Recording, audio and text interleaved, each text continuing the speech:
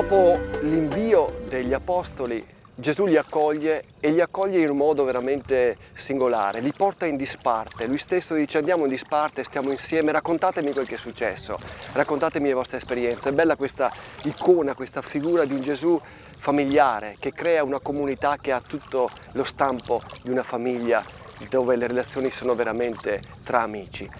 E in questo contesto a un certo punto la gente, partito dalle parti di Tabga, vede che sta andando verso Cafarnao.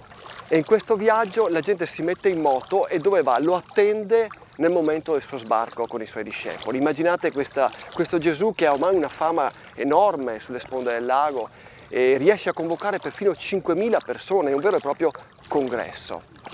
E leggiamo dal Vangelo di Marco al capitolo 6, versetto 34. Sceso dalla barca, egli vide una grande folla, ebbe compassione di loro perché hanno come pecore che non hanno pastore e si mise a insegnare loro molte cose. Gesù arriva, verrebbe da dire vabbè facciamo finta di non vederli, continuiamo a stare tra di noi. Ma Gesù non può e non si gira all'altra parte, guarda la folla, però Gesù la guarda non vedendo un mucchio, una macchia, vedendo la singolarità dell'individuo, riesce a cogliere le esigenze dei cuori presenti in questa spiaggia che attende affamata luce, che attende affamata una parola, che attende affamata veramente il cibo spirituale che apre una speranza nuova.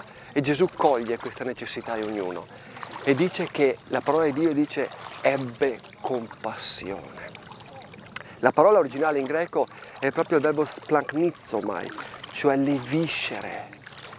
Gesù si commuove profondamente, visceralmente nel suo intimo. Curiosamente è lo stesso verbo che troviamo al Vangelo di Luca, capitolo 15, versetto 20, dove c'è la parabola del Padre misericordioso che attende questo figlio prodigo e il giorno in cui lo vede, vede un'ombra da lontano, riconosce che è il figlio e si commuove visceralmente. Allora arriva, è bello ricordare qui in questo, in questo posto, con questa citazione in mano, ciò che Giovanni Paolo I ha detto, Dio è padre e madre insieme.